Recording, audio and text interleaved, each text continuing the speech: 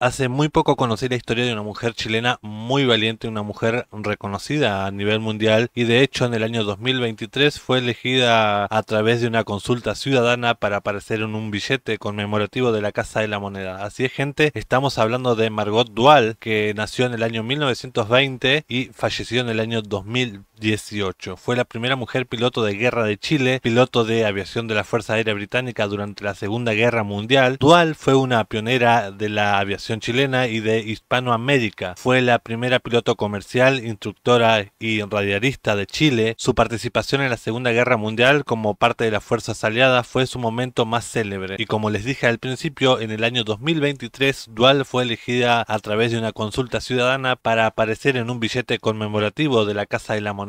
Acabo de encontrar un reportaje, la primer piloto de guerra de Chile. Este reportaje vale oro, gente, así que los invito a que puedan compartir este video que le dejen un buen me gusta y también me dejen un comentario de apoyo y de paso quiero saber si conocían la historia de Margot Duar, la primera piloto mujer chilena. Así que sin más vueltas vamos a comenzar a ver el video. De paso obviamente no olviden suscribirse, dejar un buen me gusta que eso me ayuda un montón. La piloto de guerra de Chile. Archivos. Que tiene fotos ahí. Ah, mira. En el Museo Nacional Aeronáutico y del Espacio hay fragmentos de una historia que muy pocos chilenos conocen, la historia de la primera mujer piloto de guerra de nuestro país. Bueno, por eso es importante que compartan el video para que le llegue a más gente y es conozca. 1930. En Chile las mujeres no tienen derecho a votar y soñar con una de ellas pilotando un avión es imposible. Yo los veía de chica así, no sé qué edad tendría ahí, 8, 10 años. Yo me subía al techo de la casa porque creía que subiéndome al techo lo veía más, más de Más cerca. Me encantaba, yo quería yo estar ahí. Margot Dualde nace en un Chile en el que la mujer estaba limitada a las labores domésticas, pero es una niña obstinada y su primera batalla es convencer a sus padres para dejarla ser piloto. Me costó un par de años convencerlo, porque yo quería a los 14 años empezar a volar. Mira. Pero bueno, no habría podido porque no me habrían dejado. Era demasiado joven. Pero me enfermé gravemente de escarlatina, que era muy grave en esos años. Y ahí me prometieron que me autorizaban para volar si me mejoraba. Y ahí se mejoró. Y yo me mejoré. Sí. Las ganas de volar. Mi papá decía que si tu mamá te da permiso, yo no me pongo. Y mi mamá contestaba lo mismo. Se lo llegaba en esto y no me daban nunca permiso. Y sí, Así que no- por fin le dije que me iba a matar. Y ahí como que se asustaron, ¿no? Más o menos, parece que me tomaron en serio. Se la jugó, se la jugó. Pero bueno, por lo menos quería cumplir el sueño. convenciendo a su familia, tanto que los hace cómplices de las mentiras que usa para ingresar al Club Aéreo de Chile. Primero, Ah. oculta su verdadera edad. Una de las cosas que llama la atención de Margot Dualde y que estábamos viendo aquí es justamente la diferencia en las fechas de nacimiento de sus licencias de piloto, porque acá en el Club Aéreo aparece que nació el 12 de diciembre de 1916 y en otra, sin embargo, aparece que nació el 12 de diciembre de 1920. Dije que tenía 20 años. Y como no veía ningún certificado, me creyeron. ¿Su Claro. papá la, la ayudó en esta mentira? Se quedó callado nomás. No, no dijo nada. Pero no es su única mentira. Como es corta de vista, esconde su limitación en el control médico. Era No. un médico bastante viejito, que era corto de vista él, y un poco sordo. Así que yo, yo convencí a su oficial, que era un sargento cuyo nombre no recuerdo, que me ayudara, que me soplara las letras. Que el sargento me sopló las letras y pasé, pasé. No. No, no, se merece una Y quería ir a película. Se merece una película totalmente. No, qué buena historia sería. Qué locura todo lo que hizo. La niña de Río Bueno logra hacer su instrucción y el 23 de febrero de 1938 en un avión Cyrus Moth emprende vuelo sola por primera vez. Me costó sí, porque nadie quería hacer mi instrucción. Claro, por ser mujer. Deduzco que por eso. No me tomaban en serio, porque yo era muy joven, era guasita además, del sur. Tenía apenas 16 años. Ese mismo año Margot obtiene su título de piloto civil. Pero en Chile no le dan oportunidades de volar. Decide embarcarse en una peligrosa aventura. Mira. Así que ahí tomó la decisión de ir a la, a la guerra. Es 1940 y la humanidad ve los horrores de la Segunda Guerra Mundial.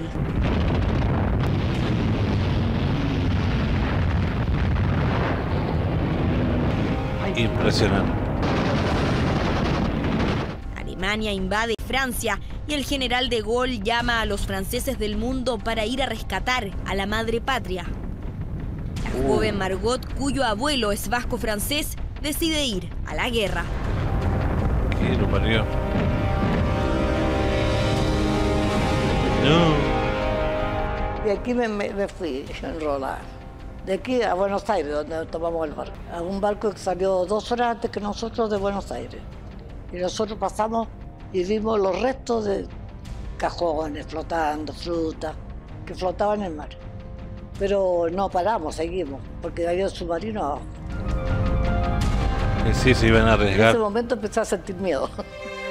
Así, Margot decide irse de un Chile que se mantenía neutral durante la Segunda Guerra por ir a volar al mismísimo infierno. Cuando llegamos a Liverpool estaban bombardeando Liverpool.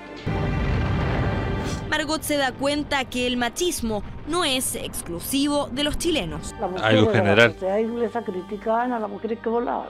Decían que qué estaban haciendo estas mujeres volando cuando debían estar en sus casas atendiendo a sus maridos y sus hijos. Pero Margot no está dispuesta a abandonar su sueño de convertirse en piloto de guerra. Women, too, are trained to do their share. Our women pilots Sin saber nada de inglés, ingresa a la Real Fuerza Aérea de Gran Bretaña.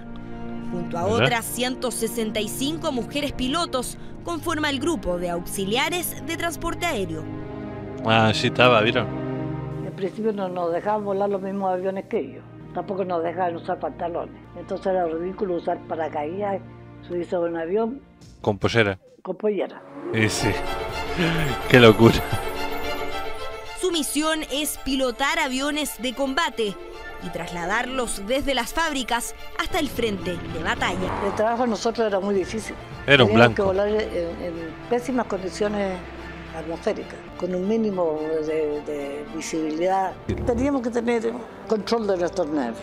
Era una cosa peligrosa. Que no teníamos ninguna radioayuda, ningún contacto con la Tierra, porque, obvio, no podíamos tener porque si no los alemanes escuchaban.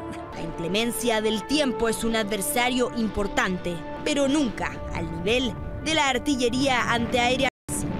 Había partes que estaban estrictamente prohibidas para volar. Y uno a veces los volaba porque el tiempo estaba muy malo y no tenía otra alternativa. Por- o, o, o la usaba porque era por chores ahí. Entonces ahí te disparaban. ¿Y le dispararon? Uh, en un tiempo casi todos los días. Se Veía los humitos por todos lados y el avión se estremecía a veces, pero, pero nunca le, me dieron de frente. Gritaba, ¿qué hacía? Le echaba garato. Y sí, la que te queda. Gritar o decir esas cosas. Imagínate a principios de los años 40.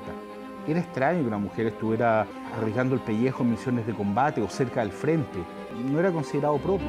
Varias de sus colegas pilotos mueren, a veces por los otras, por las fallas mecánicas de sus aviones. La propia Margot enfrenta estos peligros. En el despegue me, el fuselaje se, se desprendió toda la parte de abajo del fuselaje. Y en realidad me mantuve en el aire nada más que por la potencia de la- del motor. ¿Y usted qué pensó en ese momento? Nada, que no quería volar la madre, dije no vuelo más esta avión de mierda. No, no, es muy gracioso. Así que ahora está en el Museo Aeronáutico. Cosas de ella. Este es un Spitfire modelo 9. Es un avión de combate, de caza, que fue el que permitió a Inglaterra vencer a los alemanes durante la batalla de Inglaterra. Todo lo que pedía y todo lo que quería era volar un Spitfire. Ya está. Y, lo- y si lo volaba, ya no me importaba morir. La cosa que quería eso, no, volar eso. Volé todos los Spitfire y no me morí. Sueño cumplido. Arriesgado, pero cumplido. En realidad es eh, impresionante la cantidad de modelos diferentes de aviones que voló Margot Duarte, lo cual es muy poco común. Ya. Entonces, Entonces, ahí. así se subía Margot. Sí, así se subía, Para poder, pero con oye, un paracaídas es puesto. Pequeño este- el- Sí. para lo grande también que es ella. Paracaídas puesto, A ver, con que lo paracaídas. hacía mucho más complicado de subir. Y ahí está en el avión. Transportamos 309.000 aviones durante la guerra, Ahí arriba también. de todo tipo. Yo era la única latinoamericana. Wow. No tenían a nadie tan loca como yo también. Esta chaqueta tiene un valor especial para Margot Dualde justamente por este distintivo que dice Chile. Chile. Bueno, no era apodo, era mi nombre. Chile, mira.